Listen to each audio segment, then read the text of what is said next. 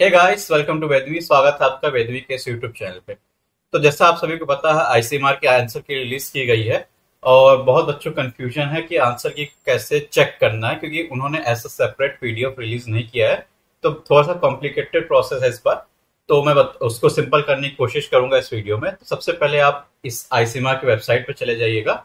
आपको यहाँ आंसर की चैलेंज का लिंक दिख रहा होगा। इस पर क्लिक करिएगा। उसके बाद आपका roll number date of birth date of exam ये सब फिल करके लॉग इन करिएगा।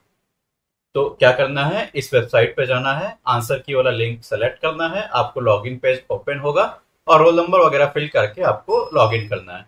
उसके बाद लॉगिन करने के बाद आपको कुछ, आपका विंडो ऐसा दिखेगा। अब इसमें देखिए पहली चीज़, आपको क्वेश्चन पेपर कैसे देखना तो यहाँ पे क्वेश्चन पेपर क्लिक करेंगे, उसके बाद नेक्स्ट विंडो में आपका क्वेश्चन पेपर कुछ ऐसा खुल जाएगा जो आपने रिस्पॉन्स दिए थे।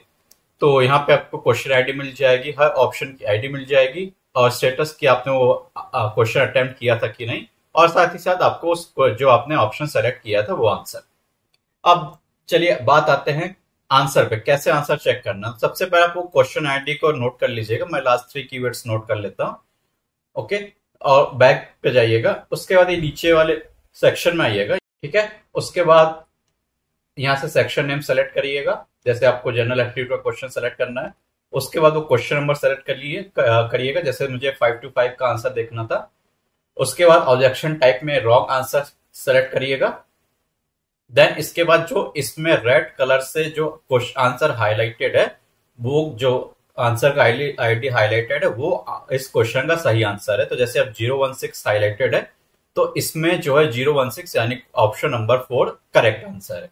तो इसी तरह आपको हर क्वेश्चन आईडी में जाना है फाइव टू टू करना है। अब हमने सेलेक्ट कर लिया फाइव टू टू रॉन्ग तो इसका ट्रिपल ज़ीरो टू वाला जो आंसर है, यहाँ ट्रिपल ज़ीरो टू वाला आंसर सही है। तो एक बार फिर से बता देता हूँ, आपको अपना क्वेश्चन पेपर सेलेक्ट करना है। क्वेश्चन आईडी ओपन यहाँ से नोट कर लीजिए। उसके बाद सेक्शन सेलेक्ट करिए। क्वेश्चन नंबर सेलेक्ट करिए। ऑब्जेक्शन टाइम में रॉन्ग आंसर सेलेक्ट करिए और उसके बाद जो ऑप्शन में रेड दिखे, वो इसका सही आंसर हुआ। फिर उसके बाद आपको किसी में ऑब्जेक्शन करना होगा तो आप अपने हिसाब से आंसर को टिक करके, उसका सपोर्ट करके ऑब्जेक्शन ऐड कर सकते हैं। तो आपको इंडिविजुअली हर क्वेश्चन का आंसर इंडिविजुअली ओपन करके चेक करना होगा। ये थोड़ा सा कॉम्प्लिकेटेड प्रोसेस है, लेकिन आपको आंसर ऐसे सिलेक्ट करना है। क्वेश्चन आईडी यहाँ से देखना है, उसके बाद उस सेक्शन में जाना है, उस क्वेश्चन आईडी को सेलेक्ट करना है ऑब्जेक्शन टाइप रॉन्ग आंसर उसके बाद जो रेड में आएगा, वो क्वेश्चन का सही आंसर होगा। होप कि आपको क्लियर हो गया होगा कैसे आपको आंसर सेलेक्ट करना है। कोई कंफ्यूजन होगा तो कमेंट सेक्शन में ज़रूर बताइएगा। Thank you bye bye and take care